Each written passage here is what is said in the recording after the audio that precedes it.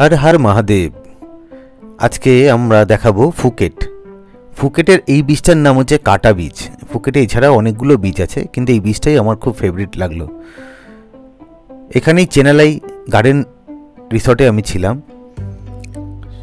সকালবেলা আমি ফুকেটে আছি শুনে আমার এক গেস্ট ফোন করে বলল, ওখানে ওনার এক গেস্ট আছে, ওনার এক বন্ধু আছে। তো উনি আমাকে সঙ্গে সঙ্গে নাম্বার দিল।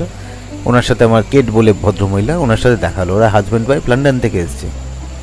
তারপর আমি গেলাম কফি শপে ব্রেকফাস্ট করতে। ব্রেকফাস্ট করতে গিয়ে এখানকার যে এফএনবি ম্যানেজার আছে, যে ফ্রন্ট অফিস ম্যানেজার আছে, তাদের সাথে আলাপ হলো। আমি হোটেলিয়ার শুনে ওরা খুব খুশি হলো। হোটেলটা ঘুরে দেখুন চেনালাই প্রপার্টিটা অপূর্ব, অসাধারণ। ওদের ব্রেকফাস্টটা অসাধারণ ছিল। তারপরে আমি টুকটুক পায়ে করে একটু বিচের দিকে গেলাম। বিচের দিকে গিয়ে, আসলে ব্যালকনি থেকেই বিচটা দেখা যাচ্ছিল, কিন্তু তাও আমি ইয়ে করলাম যে একটু বিচে যাই, ভালো লাগবে, সকালবেলা একটু হাঁটা হবে। এটা এটা পশ্চিম দিক, তাই সূর্য ওঠার দেখানোর কোনো ব্যাপার ছিল না। প্রচুর লোক প্রচুর লোক রয়েছে। নিচে বিকেলবেলা আমাকে পুলবারে যেতে হবে, ককটেল একটা ট্রেনিং দিতে। তো পুলবারটা আমার রুম থেকেই দেখা যাচ্ছে রুম থেকে বিচ মানে রুমের ভিউটা অপূর্ব। বিচও দেখা যাচ্ছিল প্লাস তোমার এই দিকের পুলবারটাও দেখা যাচ্ছিল। এখানে অনেক রকম স্পোর্টস অ্যাক্টিভিটি দেখলাম। যেরকম প্যারাশুট হলো, তারপরে স্পিড বোট যেগুলো হয় সেগুলো নিয়ে। বিকেলবেলা দেখলাম পুলের আমাদের বিচের মধ্যে সবাই ফুটবল খেলছে। ওয়ার্ল্ড কাপ আসছে তো, সবাই গরম হচ্ছে, নিজেকে একটু ওই আগুনে ঝলসে নিচ্ছে। ফুটবলটা কিন্তু এবছর খুব ভালো হবে। এই কোভিডের পর প্রচুর লোক, আর হচ্ছে আমাদের এই একদমই কাছে, কাতারে, খুব ভালো হবে।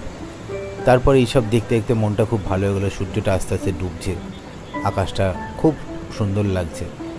সূর্যের ইমপ্রেশনটা জলের ওপর পড়ছে। তবুও কিন্তু সমুদ্রের লোকগুলোর কিন্তু একেবারেই ওঠার নাম নেই।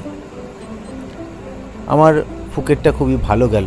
খুব সুন্দর আমি এক্সপিরিয়েন্স করলাম। এরকম একটা ফাইভ স্টার হোটেলে থাকা, এটাই আমার প্রথম দিন ছিল বলতে গেলে। মানে কালকে নেমেছি, আজকে প্রথম দিন। তো এখানে আমার দুদিন থাকা ছিল।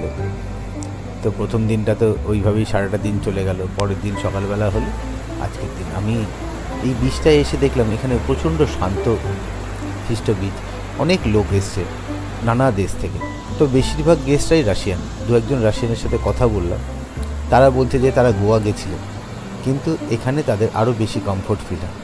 তো আমরা কিন্তু ওই জায়গাটায় কিন্তু কোথায় পিছিয়ে আছি সেটা যদি আমরা না বুঝতে পারি, খালি আমাদের গভর্নমেন্ট বলছে আমরা এই করছি, সেই করছি, কন্যাশ্রী, পুত্রশ্রী এই অমুক দেশের সাথে ইয়ে কিন্তু ওগুলো কিন্তু ওইভাবে হবে না।